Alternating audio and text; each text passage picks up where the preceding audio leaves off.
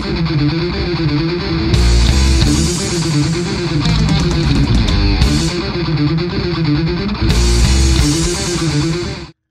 and welcome to Breaking It All Down. I'm Count Zero. This time I'm reviewing something that I've never really reviewed in video before, and I've been meaning to get started reviewing. Anime. Okay, I've reviewed anime in prose on my blog and at Bureau42.com, but I'm doing a video review this time, as I'm taking a look at seasons 1 and 2 of Hayate the Combat Butler. Hayate the Combat Butler has a seemingly complicated presence that pretty much gets itself out of the way after, the after a couple episodes and just goes into absurdist comedic hijinks.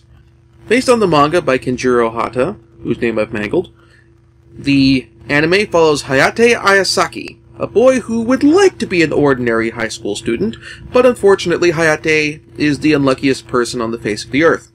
How unlucky is he? He has parents who like to spend every penny that comes into the house on gambling and booze.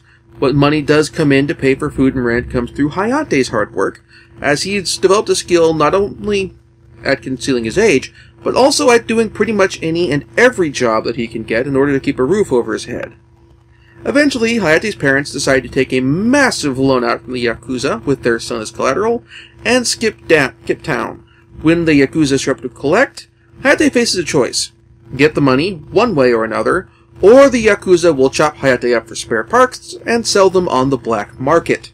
I give Hayate's parents about a 5 on the Wormwood scale, which, with each point being equal to Matilda Wormwood's parents from the Roald Dahl novel and film adaptation. While Matilda's parents were vile cheats, con artists, and general scum, they did at least have the one thing going for them that they were actually actively attempting to provide for their children, kept a roof over their head, brought food on the table. They did not, however, attempt through action or inaction to act to kill their children, nor steal money from them, um, and basically require that their children handle all the providing. Hayate, in a fit of ethical compromise, tries to kidnap a lost girl in the hopes of holding her for ransom, which would in turn allow him to pay off his debt. Instead, the words that come out of his mouth end up becoming, if not exactly a confession of love, then at least a confession of emotional attachment. The girl in question, Nagi Sanzenin, ends up getting kidnapped by actual kidnappers, mind you, not competent kidnappers, but actual kidnappers, and then in turn getting rescued by Hayate. After things get cleared up, Nagi pays off Hayate's debt to the Yakuza, but in turn he has to work as her butler until his debt to her is paid off. And at that point, with the inception of some one-off stories, the issue of Hayate's debt rarely comes up again, as the story instead proceeds into a handful of basic stories with general variations on the theme in the form of one-shot episodes or short story arcs. We have episodes based on brief moments where Hayate might be able to pay off his debt, usually through some absurd competitions. There are stories based around Hayate being sent on some mundane task and his bad luck getting in the way. We have hi- stories based around your standard rom-com anime craziness like White Day and Valentine's Day chocolates. And then there are stories about the absurd wealth of Nagi and her friends and how they are totally ignorant or oblivious about the real world, or for that matter, how much things actually cost for normal people and what the value of a yen or a hundred yen actually is. So, if you've seen Ranma 1 half at all, either recently or back in the day, this should be familiar with you. The only difference is, is that the story in Hayate the Combat Butler replaces a public high school and its myriad clubs, along with the Tendo family dojo like in Ranma 1 half, with a swanky private high school and the trappings of the Sanzenin's absurd level of wealth. Class-wise, the show takes the Ouran High School host club tack of trying to have its cake and eat it too by making the lives of the 1%, or in this case, the 0.00001%, look glamorous while also laughing at said rich schmucky mucks by pointing out how oblivious they are to how nice they have it. And also how isolated they are from real world things like taking mass transit. Also, kind of differently from Marble 1 half, this show has no problems whatsoever with breaking the fourth wall at every possible opportunity. Perhaps the best example of this is with related to the show's narrator, who was voiced in the Japanese dub by Norio Wakamoto. If you're unfamiliar with Wakamoto's work because you're more of a dub person, imagine a show narrated by a self-aware smartass played with all the ham of Brian Blessed. I can't really show clips for this because it's hard to illustrate a narrator as opposed to just play a narrator.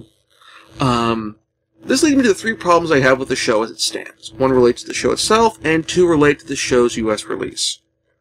Firstly, the anime is significantly more fan service heavy than the manga is.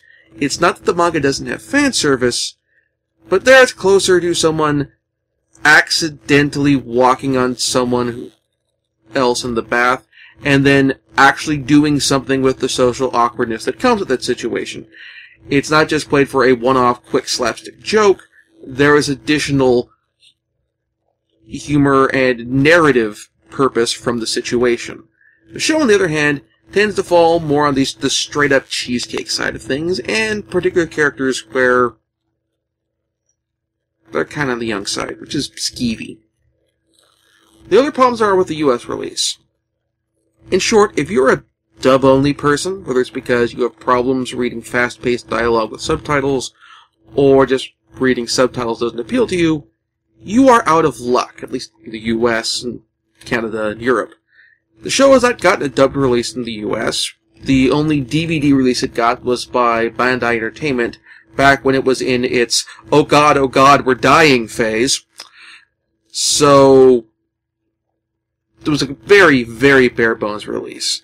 Um, actually, the Japanese release probably has more bonus features than the US release. Um, however, the show is still available for streaming on Crunchyroll, who only does dubs for a select series of shows. By which I mean currently Rurouni Kenshin. So, there's that.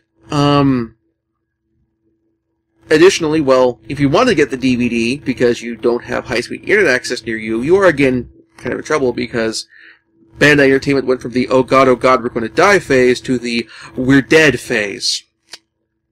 So, the DVDs are out there, but they're probably going to be very expensive to get a hold of, and you're honestly, to a certain degree, be better off streaming if you have high-speed internet connection. If you don't, then you're kind of out of luck.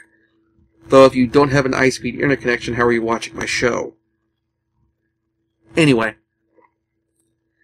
There is, was a English dub done in Australia. So you far, if you're there, you're in luck.